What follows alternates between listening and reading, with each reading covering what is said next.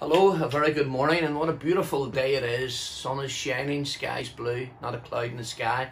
A nice way to start the morning, but even better to start the day with the Lord, isn't it? Great to be saved in these days when so many people are struck down by fear. But our confidence is not in ourselves, it's not in another man. Our confidence is God. So I just wanted to share a wee word with you uh, which challenges me, and uh, I'm sure it'll challenge everyone else and get our mind off other things. I want to read, uh, well, let's pray first. That would be a good idea, a good place to start, isn't it? Father, we do thank you that this is the day the Lord hath made, and we will rejoice and be glad in it. We thank you for your goodness and your love and your mercy and your hand upon us. And Lord, as we go through this pandemic, we pray for more of your grace, more of your strength, more of your wisdom, more of your comfort, more of your love to be poured not only on us, but on those who are struggling at this time. Pray for the sick of the church, and we ask you to raise them up to full health and strength. Pray for those suffering with the virus, and we pray that you would heal them, those frontline workers, protect them and watch over them. For we ask it in the name that never fails, the name of the Lord Jesus Christ. Amen. Uh, let me read for you from 1 Samuel 24. 1 Samuel 24, great scripture, and verse 17. And we read till verse 19. Uh, and this is the uh, situation where Saul is in the cave, and David uh, could have taken him out for all the ill uh, he had paid towards David. It's an incredible story. And this is what we read in verse 17. You're more righteous than I, he said. You have treated me well. This is Saul uh, talking to David. But I have treated you badly. You have just now told me about the good you did to me. The Lord delivered me into your hands, but you did not kill me. When a man finds his enemy, does he let him get away unharmed? May the Lord reward you well for the way you treated me today. Incredible scriptures, and basically, it's a story that many of us play out uh, from time to time in our lives. Let me ask you today has anyone ever done you harm? I'm sure they have. And what, what is the first feeling that we have as human beings? Normally, unless of course we're super spiritual, it's how can we get them back?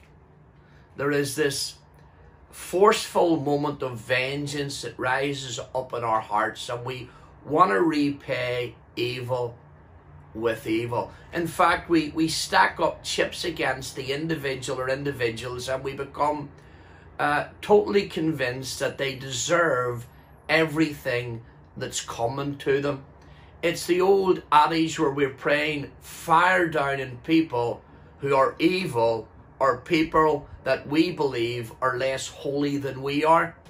And David's in exactly the same situation here.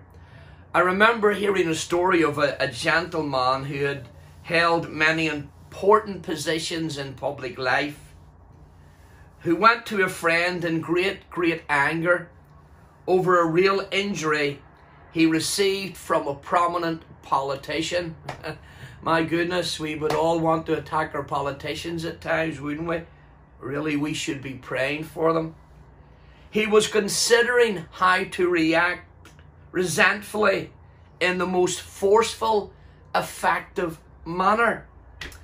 And after relating the particulars to his friend, he asked if it would be manly to resent it Yes, replied his friend, it would doubtless be madly to resent it, but it would be godlike to forget it. Manly to resent it, but godlike to forget it.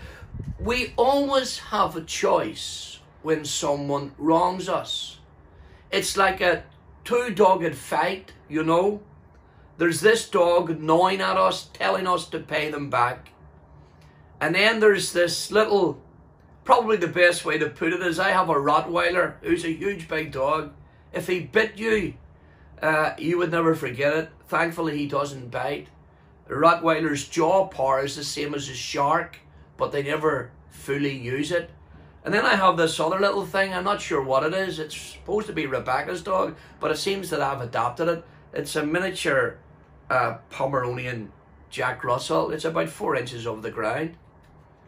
And the enemy very often is like the Rottweiler. They seem strong and powerful, giving you a, a loud voice to get your own back, and then the other the other little shouts, the little small Chihuahua Pomeranian Jack Russell thing that very often you can't hear because the the, the Rottweiler overpowers him, the, the evil voice over, overpowers the good. And the danger is that we hear the loud voice and fall in line and believe we have a justifiable cause or reason to get back at someone. Maybe you feel that way today. Who knows? Maybe this word is for you today. Maybe you feel someone's wronged you and you're about to get even. David is an incredible example. He chose to let God be his example. Isn't that an incredible place to be in our lives? Wouldn't we wouldn't we all love to have that on our CV? Wouldn't we all love to say, well, we were we were spiritual enough to let God deal with the situation. We didn't add to it and we didn't take away with it. Wouldn't it be wonderful if we did that? Uh, and I'm not saying that I'm spiritual, but I've been here many times. I was here a few years ago when I was wrongly accused, and I had to, to do all of my power not to try and get payback. Thank God I didn't, and I feel better for not doing that. When Saul entered a cave to attend to his needs, he didn't know that David and his 400 men were hiding in the recess of the cavern. David had him at a severe disadvantage. And by the way, David's men encouraged him to, to, to act. You might even get some of your friends, and some of them good Christian friends, telling you, Yeah, you're right, go ahead. I would get them back. David had all of his friends, and these were good friends at this time, who were saying, David, seize the opportunity, take revenge on Saul. But David didn't listen to those voices. You see the loudness of the voices? David didn't listen. Sometimes it's better not to listen to the loudness and look for the still, quiet voice of God in whatever pain and whatever situation you're going through. Rather than, rather than seeking to re, repay Saul for the evil he done him, he secretly cut off a piece of Saul's robe as, as proof of what he could have done and allowed the king to leave without knowing how close he had actually been to death. Only later in the in the story as it develops did Saul realize how much mercy David had actually shown him. And I guess that's the key to this scripture, isn't it? Because God's way is always to show mercy rather than extract vengeance.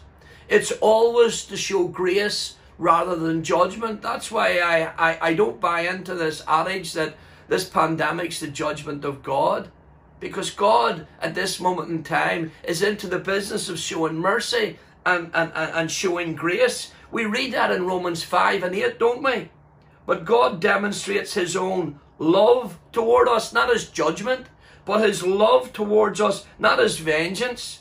And that while we were still sinners, Christ died for us.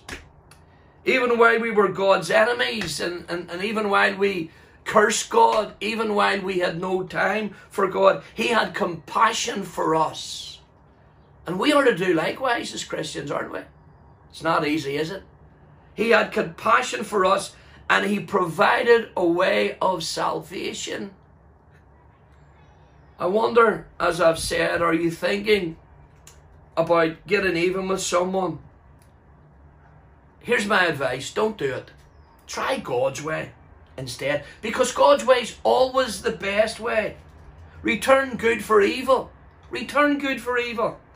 And I'm telling you this, someday you'll be glad you did it. We're all glad when we do it. We feel much better when we do it. It's so easy. It's so easy to get even. But wow, wow. It's so graceful to show good for evil. Evil for evil is man's way good for evil is always God's way.